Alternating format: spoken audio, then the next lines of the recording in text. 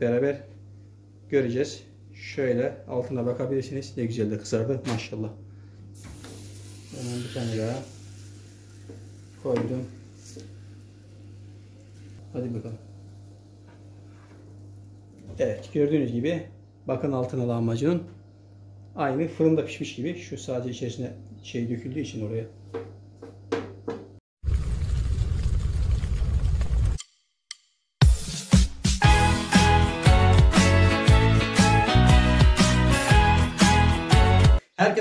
Merhabalar. YouTube'un fırını sanal fırına hoş geldiniz. Bu videomda evde tavada fırındaki lahmacunun birebir aynısını nasıl yaparsınız bunu öğreneceksiniz. Hadi başlayalım. Kullanacağım malzemeler 500 gram un, 275 ml su musluktan olacak, 10 gram tuz ve bir tutam yaş maya. Eğer kuru maya kullanırsanız bir çay kaşığı kadar yeterli olur. Hemen hamur yoğurmaya geçiyorum.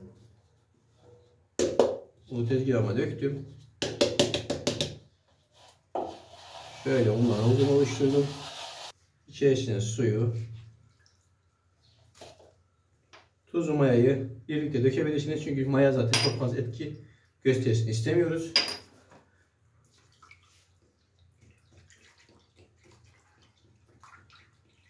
Hamurumu yoğurmaya başlıyorum.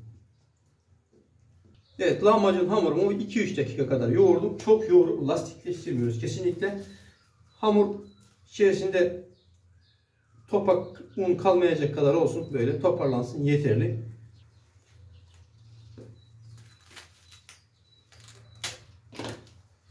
Hamurumu streçe sarıyorum.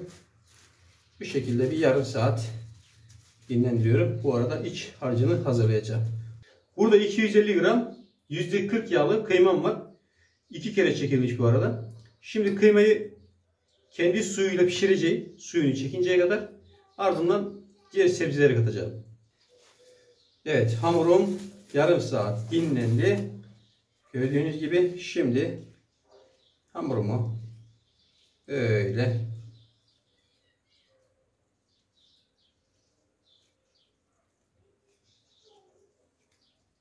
parçalara bölüyorum. Dilerseniz başka şekilde bölüp yuvarlayabilirsiniz. Dilerseniz de bu şekilde hiç yuvarlamadan şöyle kesebilirsiniz. Tamamen tercih meselesi.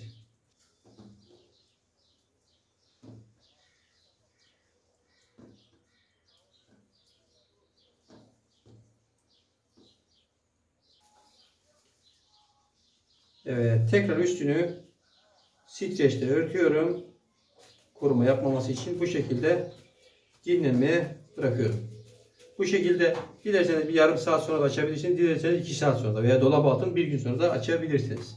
Lahmacun hamurlarım 1 saat dinlendi.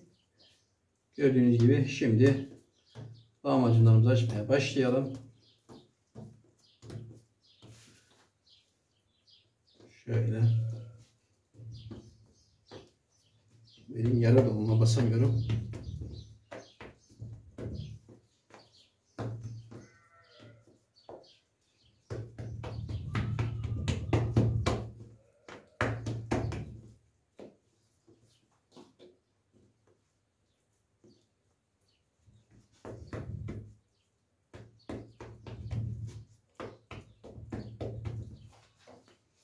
Evet lahmacunlarımı açmaya başladım.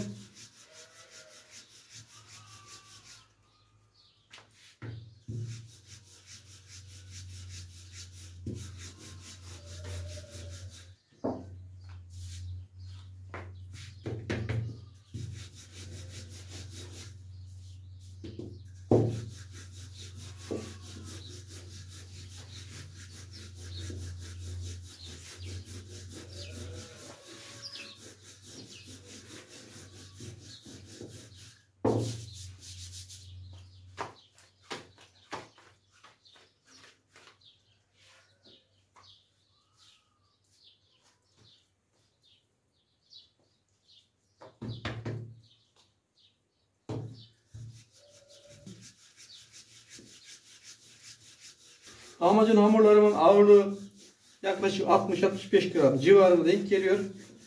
Büyüklüğü de 30 santim olacak. Şu görmüş olduğunuz 30 santimlik pizza tepsisinde pişirmeyi planlıyorum. Eğer tavanız daha küçükse O zaman bezelerini 50 gramdan tutun. 55 gramdan tutun.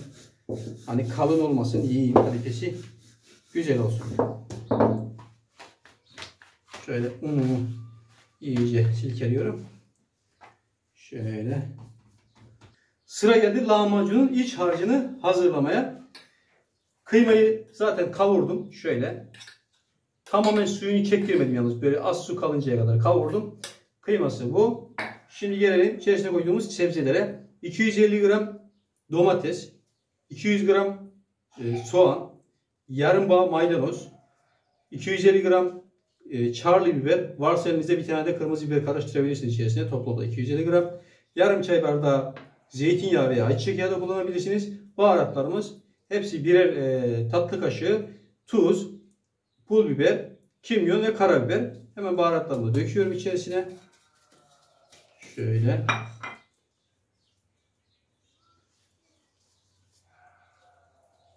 Şöyle bardağın içine sıyırayım çünkü zeytinyağı bu. Boşa gitmesin. Kalmasın bardağın içerisinde. Şey ya koyu ya. Gitmiyor.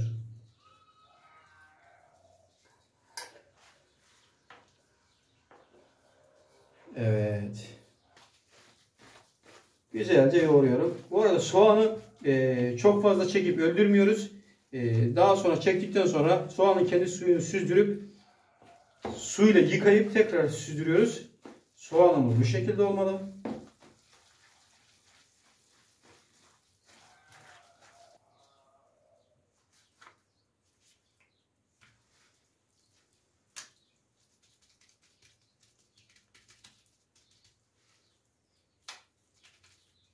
Ticari yapmadığımız için, kendimiz yaptığımız için böyle bol malzemeli yapalım.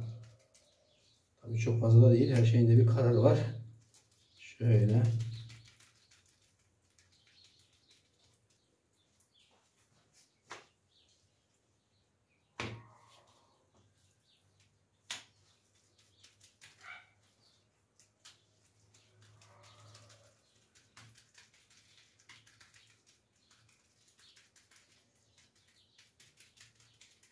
Evet bu şekilde. Şimdi pişirmeye geçeceğiz. Pizza tepsimi boş bir şekilde yeterince kızdırdım. Tepsimiz soğuk olmasın. Buna dikkat ediyoruz. Daha sonra gördüğünüz gibi lahmacunlarımı üstüne koyup pişirmeye başlıyorum. Bu arada siz göresiniz diye iki tane lahmacunun içerisini kameranın karşısında tezgahın üstüne koydum. Şimdi hepsini koymadım. Hepsini koyarsanız ortaya şöyle bir sorun çıkabilir. Ee, lahmacunlarımız kaldırırken yani tezgahtan kaldırıp oraya tepsiye pişirmek için koyacak olduğunuz zaman tavaya sarkabilir, sizi zorlayabilir. Onun için e, burada bir taraftan içini koyup, şu anda ben içini koyuyorum bir tanesini tezgahın üstünde. Bir taraftan da pişirirseniz daha isabetli olur.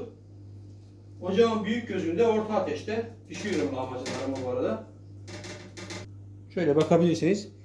Pişen yerini çevirebilirsiniz.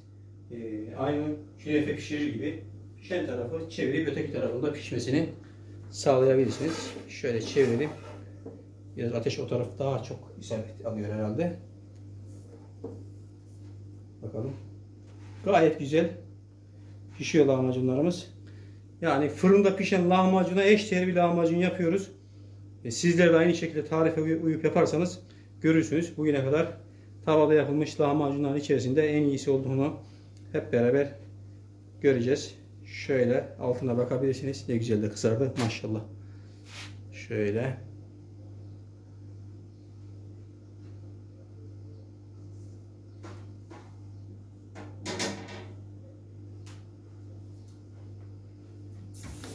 Hemen bir tane daha koydum. Pişirmeye devam ediyorum. Tamam. Ah. Tamam? Aldın mı? Hadi bakalım. Evet gördüğünüz gibi bakın altına lahmacunun aynı fırında pişmiş gibi. Şu sadece içerisine şey döküldüğü için oraya denk geldi. Aynı fırında pişmiş gibi güzel lahmacunlar çıkartıyoruz. Evet dostlar lahmacunlarımızı pişirdik. Gördüğünüz gibi bakın şöyle alt üst edeyim. Yerine bakın. Bildiğiniz fırından fırında pişmiş lahmacun gibi aynısından bakın Birebir aynısı. Şöyle. Gördüğünüz gibi hazırlama amacının aynısını tavada yapabilirsiniz. Bu tarifte çok iddialıyım, iddialıyım. Denemeyen kalmasın diyorum. Şöyle örtelim. İftara kadar yumuşak kalsın. İftarda ısıtır yeriz inşallah. Bir video daha sonuna geldik. Yeni tariflerle, yeni videolarla görüşmek dileğiyle. Sanal fırında kalın. Hoşçakalın.